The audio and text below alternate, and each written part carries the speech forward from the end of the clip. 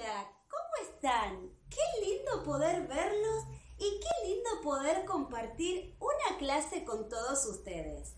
¿Saben una cosa? Hoy es una clase súper especial porque les quiero hablar de un libro que es muy pero muy especial para mi vida y también quiero que sea para la tuya. Es la Biblia.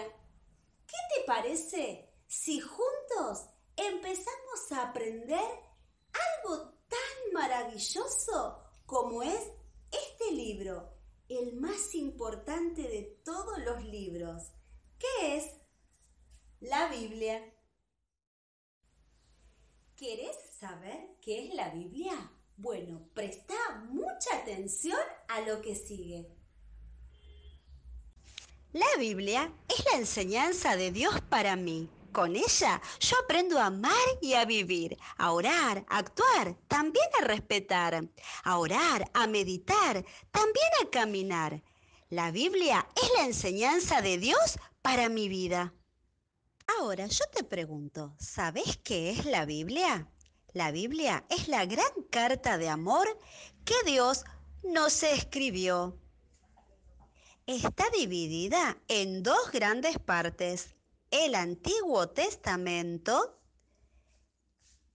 y el Nuevo Testamento.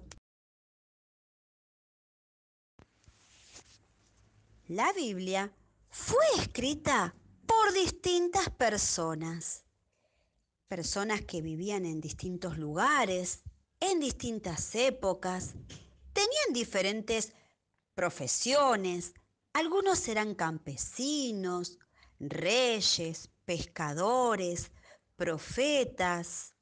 Eran diferentes personas. Pero ¿sabes una cosa? Ellos escribían porque eran inspirados por el Espíritu Santo. Escribían todo lo que Dios a través del Espíritu Santo les mandaba escribir. Luego se unieron todos esos escritos en los libros que hoy conocemos en la Biblia, que es la palabra de Dios. En el Antiguo Testamento, que fue antes del nacimiento de Jesús, relata el pacto, es decir, el acuerdo que Dios había hecho con el pueblo de Israel. En cambio, en el Nuevo Testamento, que se inicia con el nacimiento de Jesús, nos habla acerca de un nuevo pacto, un acuerdo que ahora Dios hace con toda la humanidad por amor a través de su Hijo Jesucristo. ¿Qué te parece si recordamos algunas de las historias maravillosas que podemos encontrar en el, en el, Antiguo Testamento? Como por ejemplo, el arca de Noé. ¿Te acordás de ese hombre que Dios amaba mucho, mucho, mucho? Y era el único que era obediente y hacía las cosas que a Dios le agradaba.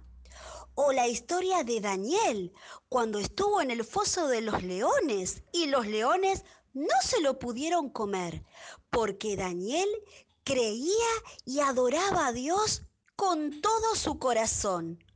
O tal vez recordás la historia de David y Goliat, ese pequeñito que por la fe que tenía en Dios pudo derribar a un gigante. También podemos recordar algunas historias en el Nuevo Testamento, como por ejemplo el nacimiento de Jesús. Qué hermoso recordar cuando Jesús nació en un pesebre, pero lo más hermoso es saber que Él nació con un propósito, el de salvar a toda la humanidad. También podemos recordar la historia del hijo pródigo. ¿Te acordás de esta historia? Este hijo que un día le pidió todos los bienes a su papá porque quería irse a otro lugar a vivir y a malgastar todo el dinero que su papá le había dado. Y así fue.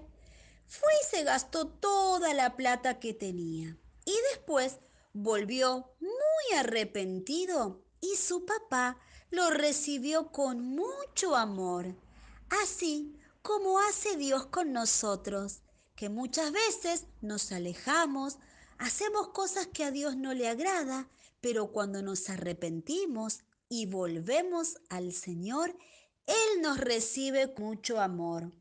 También podemos recordar los milagros de Jesús.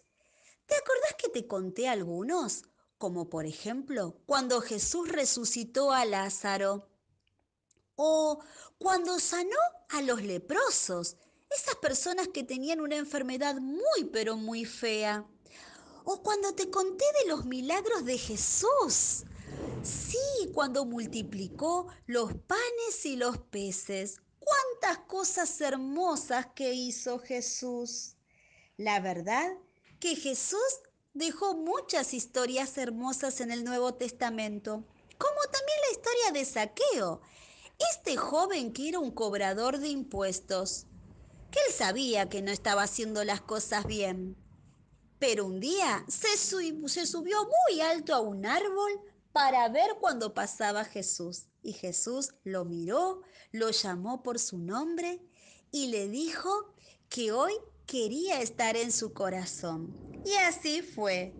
¡Wow! ¡Cuántas historias hermosas que podemos encontrar en la Biblia! La Biblia es la palabra de Dios y podemos decir que es como la semilla que Dios sembró en nuestro corazón como el pan que nos alimenta, como la lluvia que nos riega y nos ayuda a crecer, como un fuego que enciende nuestro corazón como una lámpara, una luz que nos ilumina la oscuridad, una espada que penetra el alma y el espíritu.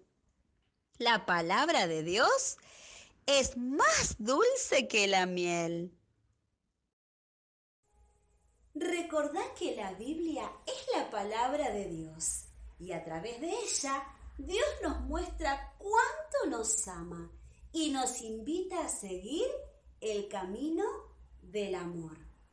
Recordalo siempre, la palabra de Dios es la guía para nuestro camino. Y ahora te voy a dejar con dos amigos muy especiales míos que tienen una sorpresita para vos. Te mando un beso enorme y que Dios te bendiga mucho. Nos vemos. Este es el libro que me hace feliz, pues cada día me enseñas. Dale tu vida a Cristo Jesús para siempre andar a ser. Paso a paso puedo ver que la Biblia siempre es fiel, con muy tierna y dulce voz en me habla mi Dios. Paso a paso puedo ver